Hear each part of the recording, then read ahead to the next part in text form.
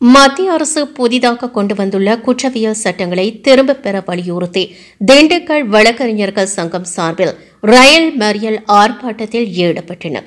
மத்திய அரசு இந்திய தண்டனை சட்டம் இந்திய குற்றவியல் நடைமுறை சட்டம் இந்திய சாட்சிய சட்டம் ஆகியவற்றில் மாற்றங்கள் செய்து புதிதாக கொண்டு வந்துள்ளது.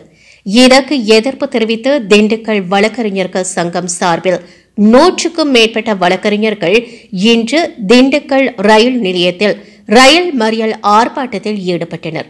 இந்த ரயில் மறியல் போராட்டத்தில் நூற்றுக்கும் மேற்பட்ட வழக்கறிஞர்கள் கலந்து கொண்டு மத்திய அரசுக்கு எதிராக கோஷங்கள் எழுப்பினர். ஒரு